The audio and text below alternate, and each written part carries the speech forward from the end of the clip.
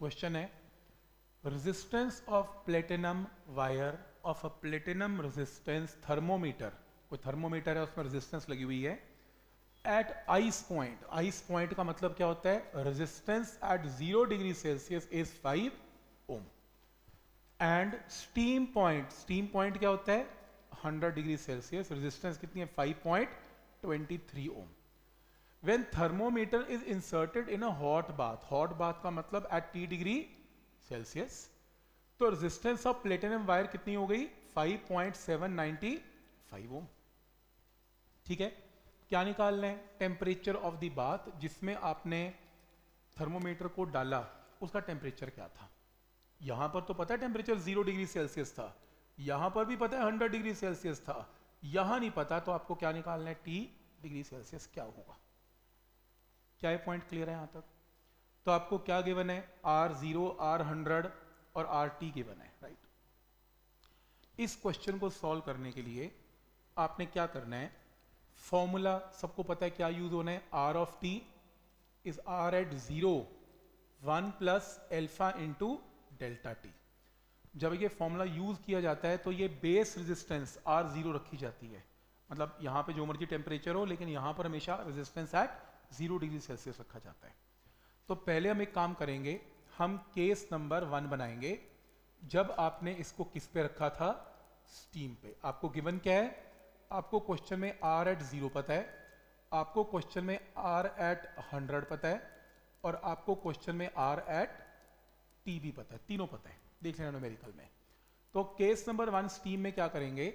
Resistance at hundred resistance at zero one plus alpha into hundred minus zero कितना है? Hundred. तो rise in temperature कितना है? Hundred. Clear है यहाँ तक? ये आपका केस नंबर वन है। अब केस नंबर टू में क्या करेंगे? जब आपने इसको कहाँ पे रखा? एट टी डिग्री सेल्सियस तो resistance at T degree Celsius resistance at zero one plus alpha into T minus zero क्या है? टी ये आ गया कोई डाउट इसमें। ठीक है यहाँ तक? अब आपने इसमें क्या करना है? इसके अंदर आपको निकालना क्या है? आपको टी निकालना है। एल्फा एलिमिनेट कर दो। कैसे?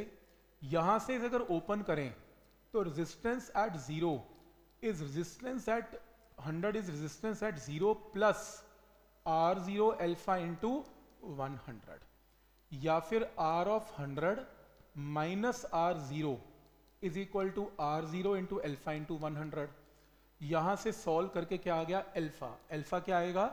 Resistance at hundred minus resistance at zero upon R zero into one hundred equation number one right ऐसे ही इसे ओपन करें।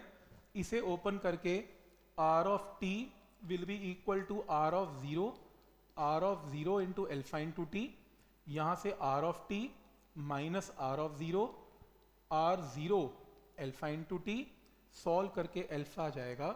R of t, r of 0 r of 0 into 100 equation number two क्योंकि material तो change किया नहीं तो alpha की वैल्यू दोनों में विल रिमेन सेम तो अल्फ़ा को इक्वेट कर लो यहाँ पे। तो अल्फ़ा अल्फ़ा जब इक्वेट करेंगे, ठीक है? तो इसमें जब अल्फ़ा को इक्वेट करेंगे ओ एक सेकेंड प्लीज़ चला गया। ठीक है तो इसमें अल्फ़ा को इक्वेट करते हैं। तो पहला अल्फ़ा क्या था? R hundred minus R zero upon R zero into कितना था? वन हंड्रेड ये अल्फ़ा था। और दूसरा अल्फ़ा क्या था?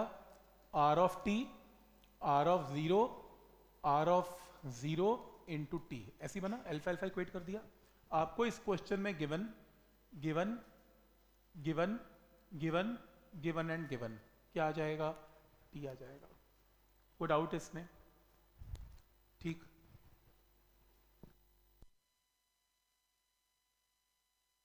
ठीक। कोई डाउट इसमें? ठीक। तो नेक्स्ट क्वेश्चन के अंदर, बिल्कुल सेम एक देखो अल्फ़ा इक्वेट करके टेम्परेचर की वैल्यू निकाल ली है। ठीक है? इस क्वेश्चन को एक बार देखो प्लीज़ 42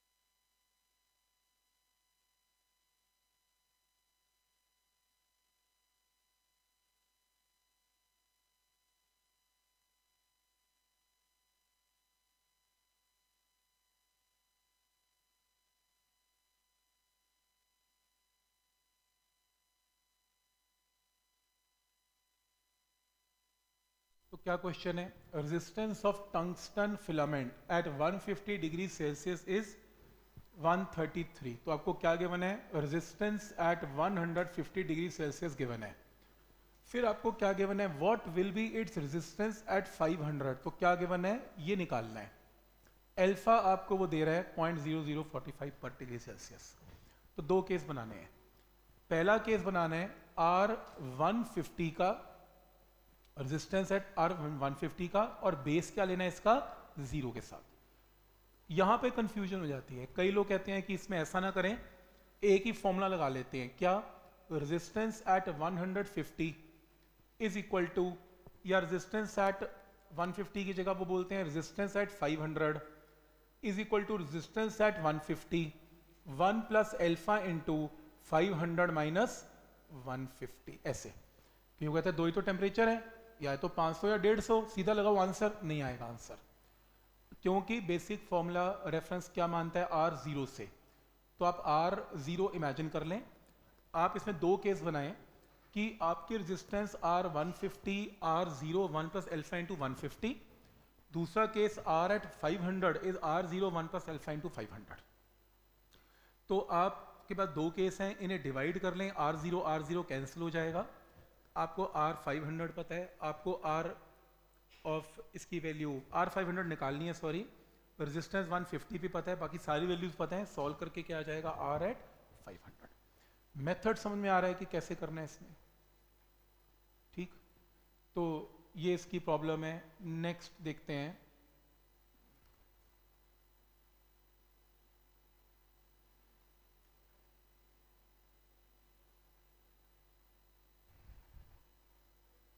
जैसे ये देख लो।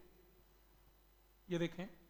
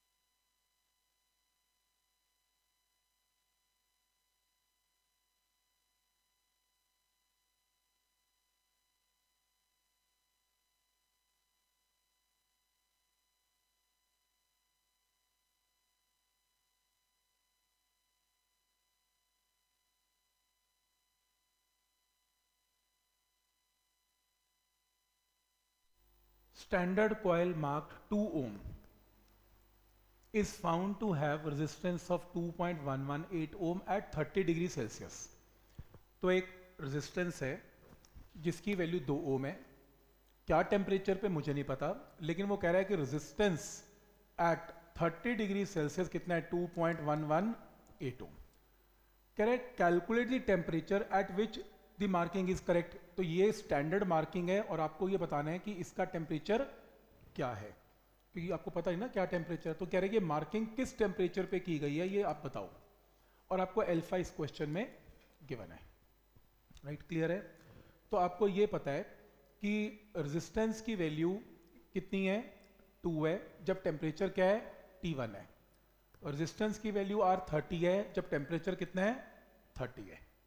Right right? एल्फा के बना। है तो अब एक काम करो, दो केस बनाओ।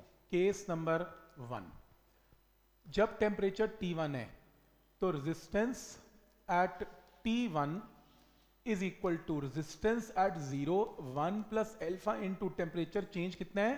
T1 सही? दूसरा केस बनाए केस टू देखो, ये आर ज़ीरो ना खुद ही इमेजिन करनी पड़ेगी रेफरेंस क्योंकि दो टेम्परेचर हैं, एक टी और एक थर्टी दूसरी इक्वेशन क्या बनेगी? R at thirty R at zero one plus alpha into कितना? थर्टी इन्हें डिवाइड कर लें। आर नॉट से आर नॉट कैंसल एल्फा पता है, दोनों रेजिस्टेंसेस पता है सॉल्व करके क्या निकालना है?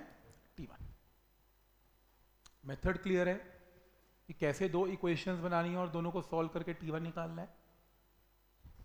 ठीक?